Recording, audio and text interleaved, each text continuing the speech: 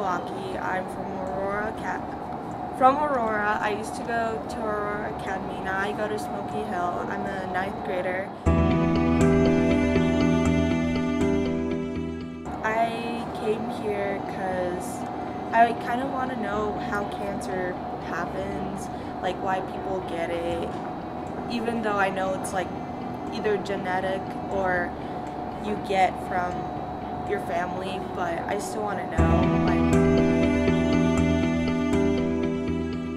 intro, but we're a neurosurgery lab where we focus on the research of brain tumors. So tumors that are either in the brain or that go to the brain. We focus mostly on one, and it's called glioblastoma, and that's a big fancy name for probably the worst tumor you get. Anything you know about the brain? Lobes or anything like that? Frontal lobe, prefrontal Where's cortex. I guess in the frontal lobes in the front. So, okay, so if this brain was in your head, how would it go? Sorry. Or, yeah, go, go ahead. Mm-hmm. Okay, you got it. Yep. Those are all, it's kind of hard to tell which cells are alive and which cells are dead.